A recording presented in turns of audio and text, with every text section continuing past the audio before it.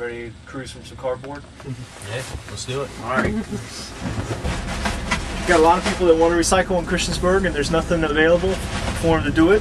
Nothing easy to do it. Nothing convenient to uh, to do it. So we decided that, you know, we had some free time on our hands. We try and uh, uh, we try and show them that it can be done. It can be affordable. and It can be convenient. So hopefully, hopefully we're gonna be able to do that. The cardboard. Ryan just said one day, "Hey, there's a lot of cardboard after Christmas. Let's go pick it up." Only been to a few houses and already we're filling up. Yeah, we need a bigger truck. That's a good problem to have. Mm-hmm. All this cardboard that'd be going in the landfill. It's very windy out today. And I mean really windy. And here comes a paint can right for me.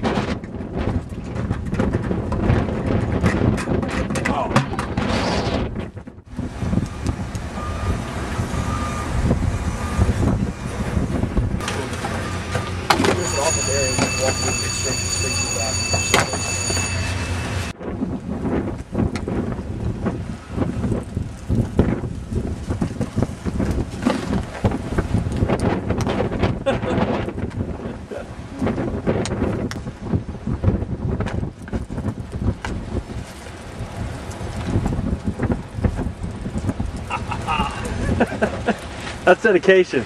That's right. This is going to go to the Montgomery Regional Solid Waste Authority, and they have uh, buyers. They bundle it up and have buyers that uh, buy it and take it to mills for recycling. Uh, to help the environment, you know, I think, uh, you know, I've got young kids. It's, but even before I had kids, I mean, my wife and I were recycling, you know, taking the recyclables down to the centers. It's just something that's always been a lot to me.